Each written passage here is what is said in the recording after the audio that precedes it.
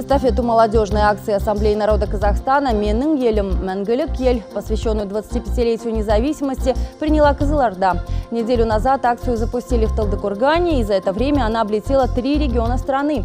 Главный ее символ – книга «Мәңгілік ель». Следующую ее страницу после кызылординцев заполнит молодежь от Ираусской области.